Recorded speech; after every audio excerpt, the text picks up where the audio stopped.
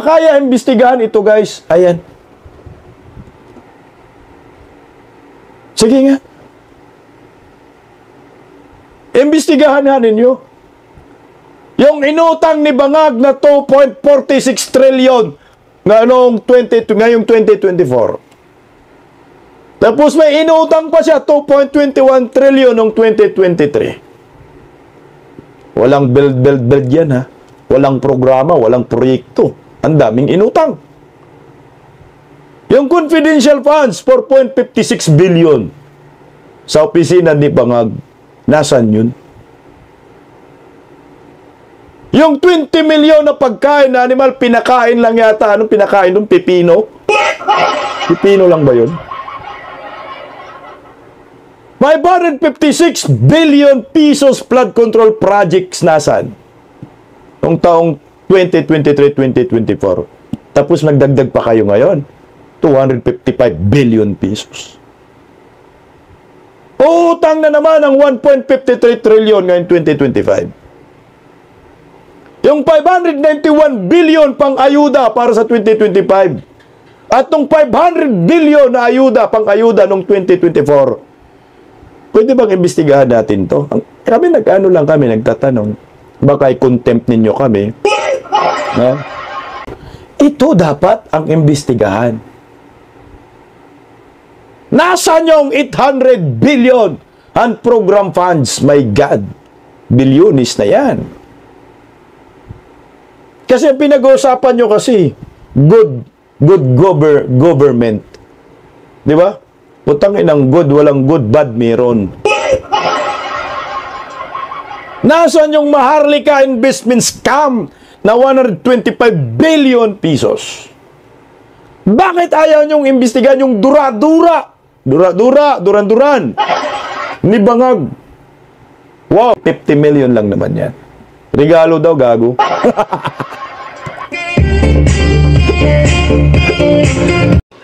Ano po ang tingin ninyo sa mga programa ng ating dating Pangulo? Kung ano yung mga nagawa niya sa Davao, kung ano yung nagawa niya sa ating bansa, ano po ang tingin ninyo ah, sa totality ng kanyang mga naging programa? Ito ay uh, general opinion lang po ang may bibigay. Sa nung 2016 po, o before, prior 2016 po, ah napakagulo ng sitwasyon sa buong Pilipinas ah, when it comes to drugs, Mr. Chair. Talaga pong ah, kahit kaming mga pulis, ah, pulis po ako noon, ah, na nakita ko po halos sa hindi na po namin pansinin yung mga gumagamit ng ah, droga na maliliit lamang dahil ang dami pang dapat na unahin yung pong mga pushers and mga ah, mga drug lords nung mga panahon po na yon. Kaya naniniwala ako na I believe no doon po sa war on drugs ni PRRD dahil talaga naman pong napakanabangan ng buong Pilipinas dahil gumanda naman po yung naging tahimik po somehow. Compared doon sa 2022 wala na pong drugs. Wala na po halos. Yun po ang masasabi ko, Mr. Chair. Maraming salamat po kay Leonardo. Okay, ito, Tuwad Committee. Malas nyo dahil meron kaming video niyan. Hindi po namin yan ibubura at ipapalagana po natin sa taong bayan. Yung sinasabi ng retired police, yan din po ang atin pagtingin sa war on drugs ni Pangulong Duterte. Nakatulong sa taong bayan, tumahimik ang Pilipinas dahil sa war on drugs ni Pangulong Duterte. Pero ito guys, meron lang po ako ipipli na video. Hindi nila kinaya talagang mga Duterte, kaya meron na naman silang pinapalabas na fake news. May pinapalabas o sila na fake news at hindi po natin alam kung bakit ito yung mga nasa isip ng mga kalaban ng mga Duterte na umanoy. Si Pangulong Duterte nahulog na naman daw. Nahulog daw sa hagdanan. Hmm. O ito. Pakinggan po natin mga kabisdak itong ah, bidyong ito. Paglilinaw lang po ito sa mga kumakalat na balitang nahulog daw si Tatay Digong sa hagdanan. O ito. Maligayang linggo po sa inyo lahat sa mga nag-aalala, nagpapakalat ng masamang balita, hindi po totoo. Okay si Tatay Digong ngayon, no? Ano si Doktora? Hindi tayo may eh, lang. Ang hagdan ang nahulog, hindi ako. okay po, Tatay Digong. Ayan, doktor po yung nakapula, pinakita sa video. Kanina lang po ito kay Kuya Bungo. Update po sa lahat ng maraming Pilipino, sa lahat ng mga Duterte diehard supporters, ay hindi lang sa mga DDS, sa lahat ng mga Pulawan, Dilawan, mga kabag party list, mga aktivista, sino man lahat na galit kay Tatay Digong. Ayan po, buhay na buhay.